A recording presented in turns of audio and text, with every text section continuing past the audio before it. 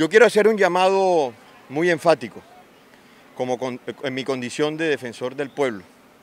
Es muy importante eh, que tengamos muy presente que estos hechos de bloqueo, estos hechos de vandalismo sistemático que quieren perpetuarse en el Valle del Cauca y en, particular en, la ciudad de Cali, son inadmisibles. Apostarle a resurgir todos los hechos de vandalismo y todas las expresiones que existan sobre hechos de violencia. La violencia no se resuelve con más violencia.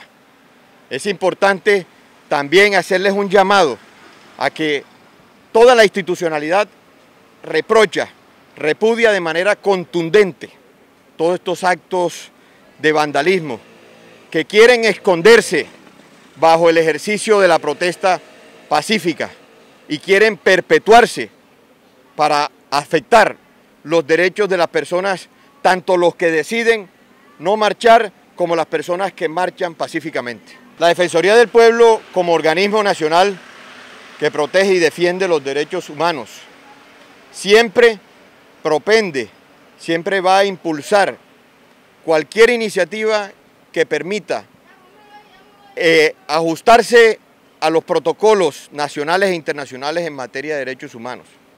La labor nuestra es precisamente promocionar, es precisamente hacer pedagogía, difusión y divulgación de los protocolos en materia de derechos humanos, derechos individuales y derechos colectivos como sociedad. Esperamos que la, la, Comisión Interamericana, después de, de ese importante y pormenorizado informe que rindió la Defensoría eh, del Pueblo, donde le pusimos en contexto de las diferentes situaciones en materia de derechos humanos. Pero es importante también decirles, como organismo que somos, organismo nacional que protege y defiende los derechos humanos, que Colombia no es un país violatorio o que viola los derechos humanos. Aquí hay unas situaciones que hay que evaluarlas en estricto sentido y hay que evaluarla de manera muy particular.